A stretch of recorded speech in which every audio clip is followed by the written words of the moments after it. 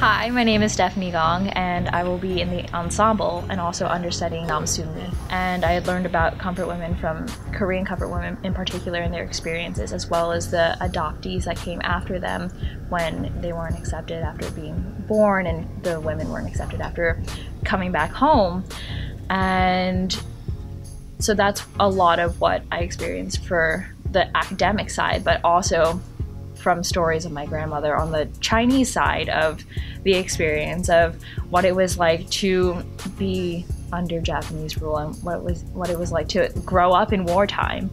So after joining the production, I learned a lot more about the severity of what was done to these women. I didn't realize that they were branded or they were beat so terribly to the point where they were just bleeding and almost dying. I didn't realize that they killed people on the spot just for showing the slightest bit of resistance towards being, you know, for lack of a better term, assaulted and raped every day, multiple times a day. My favorite part of this production is actually being able to work with all of these incredible Asian and Asian American actors and the creative team too. I've never been in a room with so many um, Asian and Asian American professionals, and it's really been inspiring to get to know everyone and see where they came from and what their stories are, and then also be able to see kind of the trajectory that they're going for and what their dreams are. The most um, challenging part of this production is definitely coming out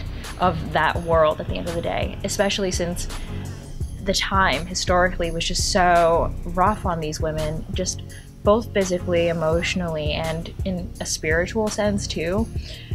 From taking that world in your head and being there for eight hours, and then after running around doing choreography, doing all of these different things, and coming out of it at the end of the day, at the end of the day, it's very you know training on on the actor's physical and emotional. I want people to know that while there may not be many Asians in your audition room or coming out to do these different things. Just know that there are a lot of people in this industry who are Asian and who want to work.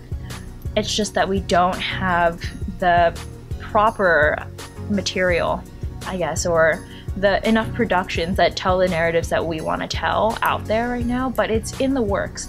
And something about this show that's particularly special is that it's not a king and I where the white colonizer comes in to tame and sophisticate all of the the natives. It's not a South Pacific where the native Polynesian islanders aren't literate or don't have like a or they're barbaric. And it's definitely not a Miss Saigon where it's it's devastating and sad, yes, but it's not up to the Americans. My favorite number or numbers in this show are Roses and Who We Are the Reprise, just because the music is so beautiful.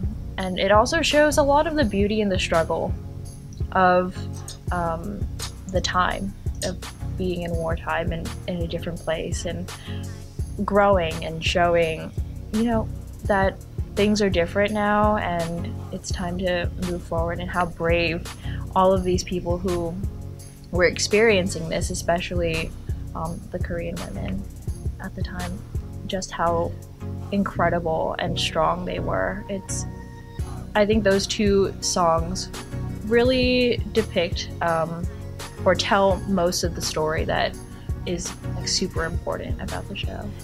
Thank you so much for watching this interview. Comfort Women will be coming to the Peter J. Sharp Theater. Our previews start July 20th. I hope to see you there.